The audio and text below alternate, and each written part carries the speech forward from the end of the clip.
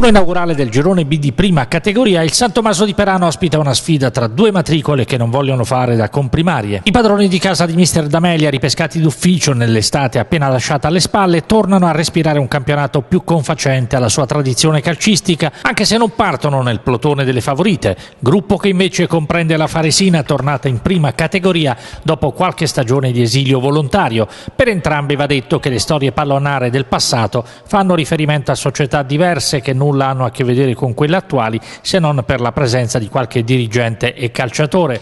La truppa di mister Mancini comincia a prendere il controllo delle operazioni e va progressivamente a presidiare la metà campo giallo-verde messa in discussione in diverse occasioni. Una delle più temibili è sicuramente la prima, con il gran destro dalla distanza di Di Fulvio, che al settimo induce Giarrocco a distendersi per disinnescare la sfera a fondo campo.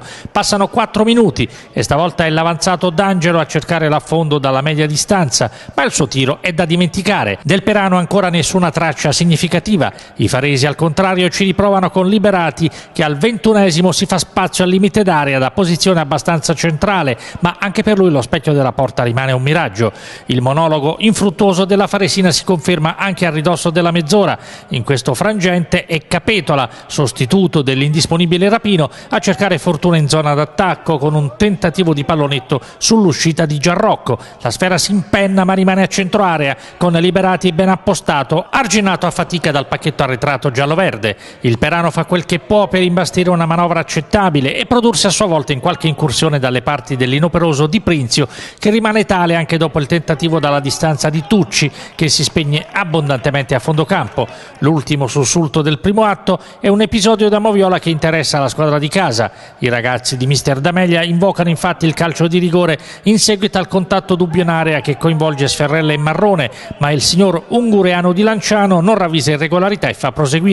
Alla ripresa dei giochi il copione è pressoché immutato con gli ospiti a condurre le danze e locali a fare opera di contenimento. Dopo tre giri di lancette la zampata di Serafini sull'invitante retropassaggio di Liberati viene abbrancato da Giarrocco senza eccessive difficoltà, ma l'estremo peranese non può gioire nelle battute successive, allorquando il direttore di gara va a sanzionare il contatto in area tra Pizzi e Liberati lanciato a rete al culmine di una caparbia iniziativa dalla corsia mancina. Dal dischetto è lo stesso calciatore ex bucchianico ad incaricarsi della battuta che non lascia scampo all'incolpevole estremo peranese.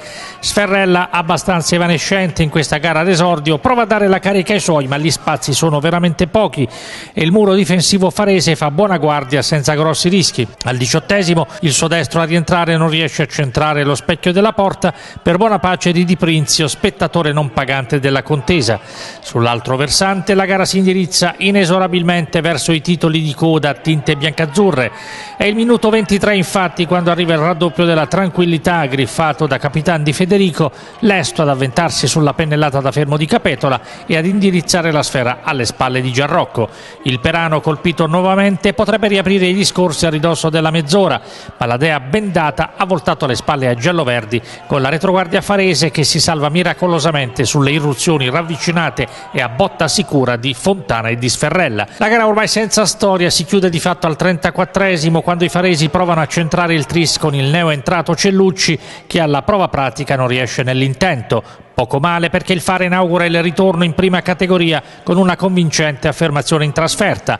Perano da rivedere all'opera con un avversario di pari livello. Mister Aldo Mancini, buona la prima, chi ben comincia è a metà dell'opera, diciamo qualche proverbio che è ben augurante per questo inizio di stagione della Faresina, una gara non bellissima ma tre punti d'oro su un campo che sicuramente sarà ostico per tutte le avversarie.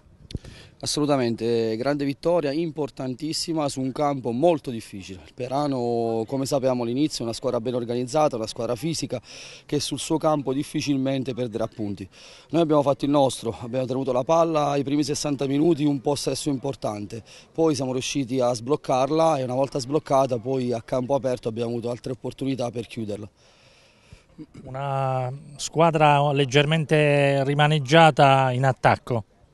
Sì, oggi abbiamo l'assenza di Pasquale Rapino che è un giocatore molto molto importante per noi, però chi ha giocato ha fatto il suo, ha fatto. È un grosso vanto e come avevo già anticipato durante la settimana e durante la fase precampionato, il nostro vanto è quello che abbiamo su 20 persone, oggi 17 di Fara.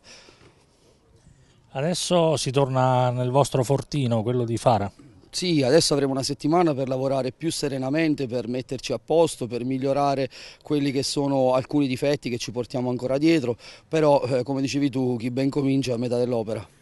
E il Perano infine, mister, come l'ha visto? Il Perano è una buona squadra, solido dietro, eh, con a centrocampo un paio di elementi importanti. Io conoscevo Bruno Sferrella, attaccante di categoria, e anche il 7 molto bravo, veloce, l'8 se non erro Fontana, un fuoriquota di livello. Perano è una buona squadra e si salverà tranquillamente. Leonardo D'Alonso, presidente onorario del Perano, oggi gara inaugurale di campionato, non è andata benissimo ma bisogna considerare anche il valore dell'avversario, si tratta della Faresina, una delle squadre meglio attrezzate quindi eh, guai a fasciarsi la testa prima del previsto.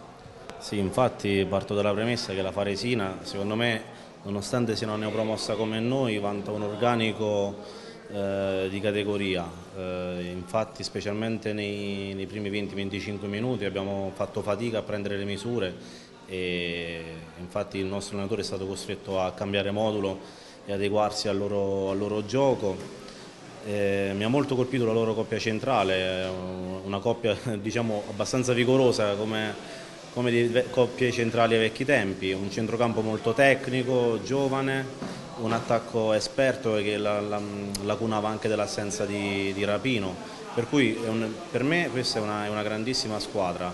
Eh, dispiace che mh, la partita è stata sbloccata da, da un episodio a dir poco dubbio che come ho detto prima non vuole essere una scusante perché la vittoria della Faresina ci può stare tranquillamente per, hanno, per i valori che hanno dimostrato in campo però sbloccare una partita con un episodio così insomma non tanto per il gol preso ma per il nervosismo che ha creato all'interno della nostra squadra un pochino ci ha penalizzato però come ho detto poc'anzi eh, meritano molti complimenti e secondo me questa sarà una squadra che alla lunga dirà la propria per i quartieri alti.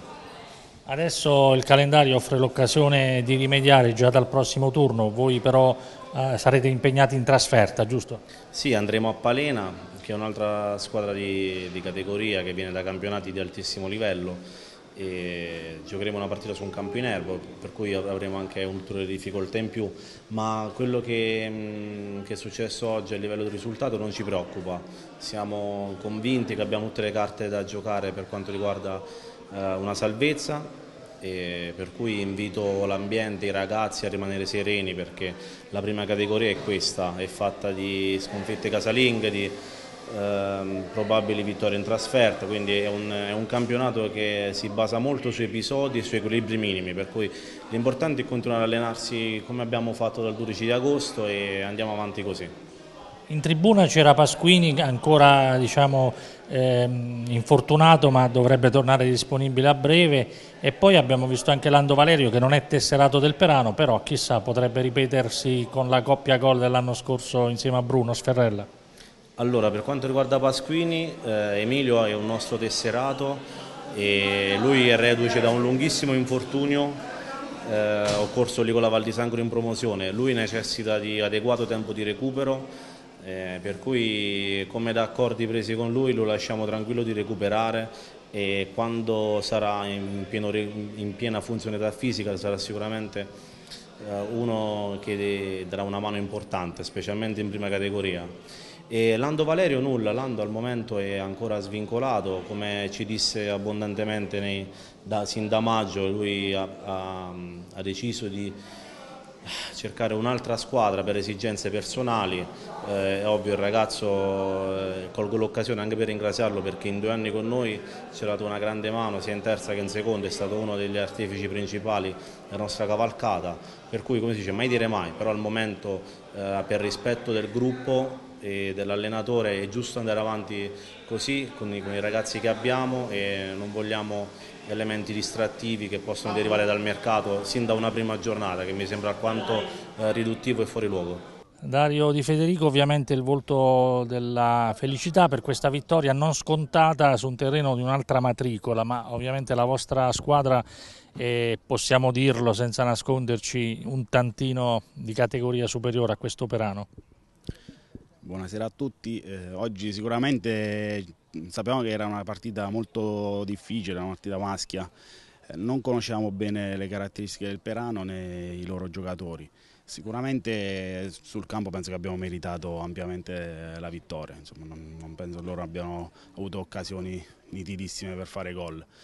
Eh, sono sicuramente soddisfatto del lavoro dei ragazzi, sia del mister che dei ragazzi in, prima, in questa prima parte della, della stagione, penso che quindi abbiamo meritato ampiamente la vittoria a Perano, adesso cominciamo a pensare alle prossime partite, sin da domenica con il Real Casari in casa. Buone notizie anche dalla difesa, imperforabile in questa occasione. Sì, la difesa ormai è una difesa storica, fatta di, di quattro quinti di faresi che, che giocano insieme ormai da anni, quindi su questo siamo più che tranquilli. Sicuramente un nostro vanto è che oggi nove undicesimi erano, sono residenti a Fara, quindi penso che questa sia la cosa più importante per portare avanti il nostro progetto. Bruno Sferrella non è sicuramente il volto della felicità oggi perché non è andata benissimo, ieri sera forse sì per altre gare ma oggi col Perano purtroppo per lui no. Sì, ciao Antonio, buonasera a tutti. Eh, oggi è andata come è andata, ha vinto loro 2-0, partita dura, maschia, combattuta, stata una bella partita di prima, noi il nostro esordio in prima, non so se pure a loro il loro esordio. Comunque è lunga ancora, c'è tanta strada da fare, ma noi siamo pronti, ci faremo trovare pronti più in là, senza, senza dubbi proprio. Lo dicevo anche con il presidente D'Alonso, la Faresina è una delle squadre meglio attrezzata, pur essendo una neopromossa, quindi diciamo una sconfitta, non dico indolore, però non può far tanto male. Sì, sì, noi, ma noi già sapevamo che è una bella squadra, bella tosta, combattuta, già l'anno scorso infatti hanno fatto benissimo in seconda.